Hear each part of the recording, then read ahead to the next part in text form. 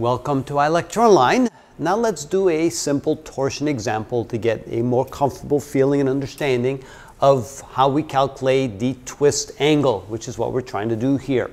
So we have a disc suspended from a thin rod.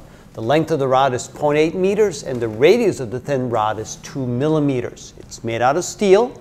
So here we have what we call the modulus of rigidity at 79.3 times 10 to the 9 pascals. If we apply a force parallel to the edge of the disk of 10 newtons and knowing that the radius of the disk is 30 centimeters, what will be that twist angle? And the equation that we use here, the twist angle can be calculated by multiplying the torque times the length and dividing it by the modulus of rigidity and the torsional constant J. Now we're going to use a torsional constant for a circular rod. Let's plug in some numbers and see what we get. So the angle is going to be equal to the torque. By definition, the torque is the force times the perpendicular distance from the point of rotation to the line of action of the force. So that would be force multiplied times the radius of the disk r. We multiply that times the length, L, and then we divide that by g, which is the constant here. That would be 79.3 times 10 to the 9 pascals.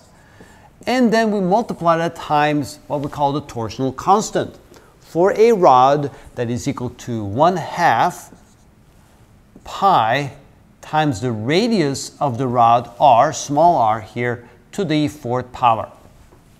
Now we have everything we need to calculate that angle theta is equal to, that would be 10 newtons times the radius, 30 centimeters, which is 0.30 meters, length 0.80 meters, divided by 79.3 times 10 to the ninth, multiply the times 1 half, pi, and the radius is 2 millimeters, 0.002. We have to raise that to the fourth power.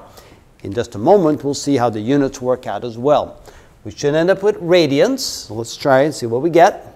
10 times 0.3 times 0.8 divided by 79.3 e to the ninth, divide by 0.5, divide by pi, and divide by 0.002 to the fourth power.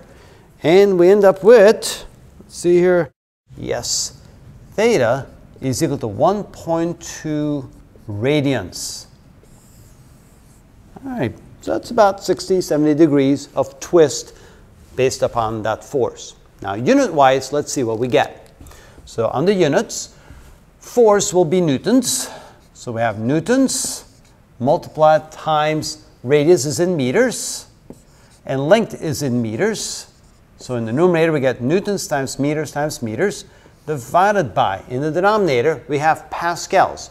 Now, pascals is newtons per meter squared. Newtons per meter squared for pascals.